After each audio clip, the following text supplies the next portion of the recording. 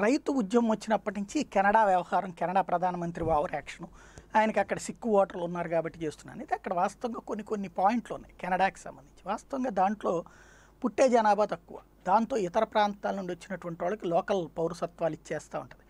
ఇందులో ఎక్కువగా వచ్చినటువంటి వాళ్ళు ఈ మన పంజాబీలు సిక్కులు అంటే ఖలిస్తాన్ ఉద్యమానికి సంబంధించినటువంటి పేరుతో ఇక్కడ గొడవలు జరిగినప్పుడు అక్కడికి వెళ్ళిన వాళ్ళు అట్లాగే శ్రీలంకలో తమిళుల మీద దాడులు జరుగుతున్నప్పుడు పారిపోయి అక్కడికి వెళ్ళినటువంటి వాళ్ళు. వీళ్ళిద్దరే ఎక్కువ ఉంటారు అక్కడ ఇండియా నుంచి. అక్కడ కనుక మనం ఇక్కడ ఏదన్నా వ్యవస్థలతో గొడవలు పడుతున్నామని వెళ్తే వెంటనే పౌరసత్వం ఇచ్చేస్తారు. వేగంగా పౌరసత్వం ఇచ్చేస్తారు. ఏది ఇక్కడ ఉన్నటువంటి దేశపు ఆలోచనలతో సిద్ధాంతాలతో గొడవ అంటే ఇచ్చేస్తారు.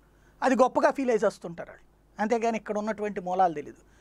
దాన్ని ఏదో ప్రజాస్వామ్య పోరాటాలు అనుకుంటూ ఉంటుంటారు. అదొక వింత. అక్కడ చివరికి భారతీయులు గనక ఇప్పుడు ఈ మధ్యకాలంలో చదువుకు అక్కడ ఈజీగా దొరుకుతున్నాయి లేకపోతే ఉద్యోగాలు అక్కడ ఈజీగా దొరుకుతున్నాయని పోతున్నారు.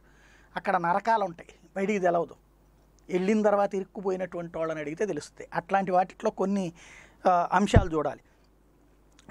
అక్కడ మనవాళ్ళని ఎక్కువగా ఉద్యోగాల్లో వాడుకునేది మనోళ్ళే అంటారు. తీరా చూస్తే అదేంద్రే అంటే ఆ మధ్యన జరిగినటువంటి ఇన్సిడెంట్లో మన వాళ్ళని అక్కడ సాఫ్ట్వేర్ ఇంజనీర్లుగా ఇట్లా వాడుకుని ఈ ఖలిస్తాన్ ఉద్యమాలకు సంబంధించినటువంటి సహకారాలు ఇట్లాంటి వాటిట్లో వాడుతుంటారు. వెనక్కి వస్తామంటే రానియరు నిర్బంధించేటువంటి ఉంటాయి మామూలువి ఉంటాయి ఇట్లాంటివి ఉంటాయి. రెండవ పాయింట్ వచ్చేటప్పటికి భారతదేశ వ్యవసాయ ఉత్పత్తుల్లో ఇరవై మూడు శాతం ఉన్నటువంటి పాలు పాల ఉత్పత్తుల్ని దెబ్బతీయడానికి ఆ మధ్యన అంతర్జాతీయంగా భారతదేశం మీద కంప్లైంట్ చేసినటువంటి దేశం కూడా ఇదే.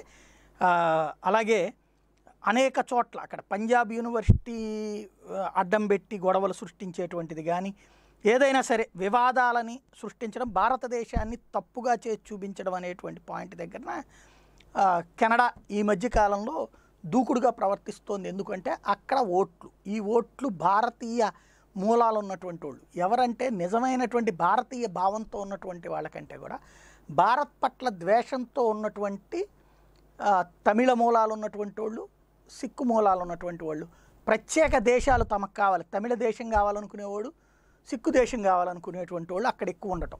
దాని వలన వాళ్ళ ఓట్ల కోసం ఈ రాజకీయం నడుస్తుంది అన్నది గుర్తుపెట్టుకోవాల్సింది